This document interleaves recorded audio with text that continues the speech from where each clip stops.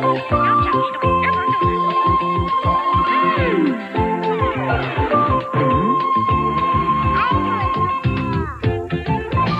I'm Perry King, and I'll be right back with One to Grow On. You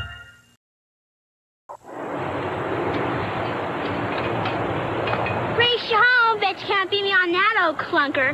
No, Kristen, I don't really feel like it today. Yeah, forget it. Your bike won't stand a chance against mine. Oh, but it's really neat looking. Better looking than your bike. My daddy paid a lot of money for my bike. Where'd you get yours out of somebody's garbage can? Oh, girls, girls. Bragging's no way to keep a friendship rolling. Showing off only means that we really don't feel so good about ourselves. So we try to make somebody feel even worse. Now, that's a lonely feeling. It's not what we have that makes us good people, it's how nice we really are. That's what being a buddy, not a bragger, is all about. Can't afford to get me a bike like yours. I'm sorry. I was showing off. Let's just go for a ride.